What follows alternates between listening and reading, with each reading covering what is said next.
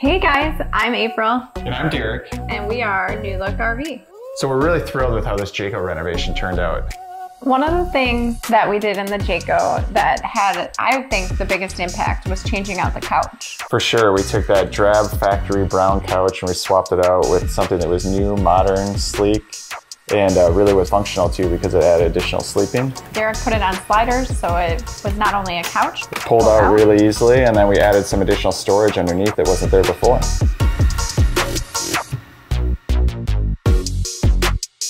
The master bedroom, like the rest of the RV, really benefited from some new paint. For sure, and then we also added some brand new shiplap. April picked out a great piece of art to put behind the bed. We swapped out the old light fixture with a new one. We added some new countertops on top of the nightstands. What's really great about this RV is it has some great storage above and below the bed. And the main living area in this camper really went through a dramatic change.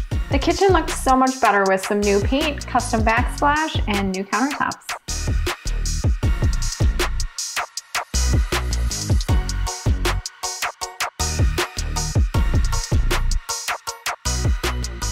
My favorite things about the Jayco camper that we changed out was the dinette area, and we got some inspiration for that from RV Family Reno. For sure, when we originally got this camper, the dinette was actually busted.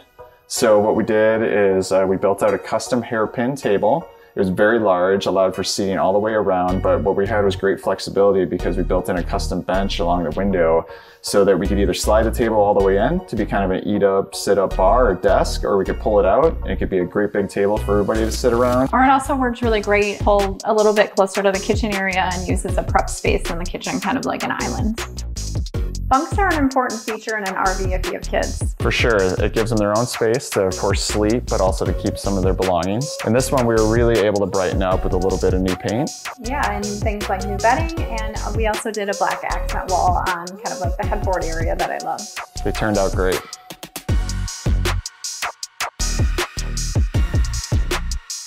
We took a blah bathroom sink area in this camper and really made a statement with it. For sure, we added a vessel sink, we painted the cupboards, we added some shiplap, made it black again as an accent. April picked out a great new mirror, an awesome faucet, and then we even added a new light fixture.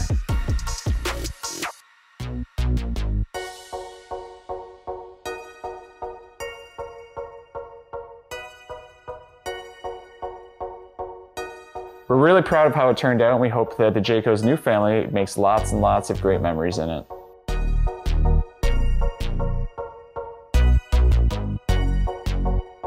You did a good job. Good job, honey. Yeah.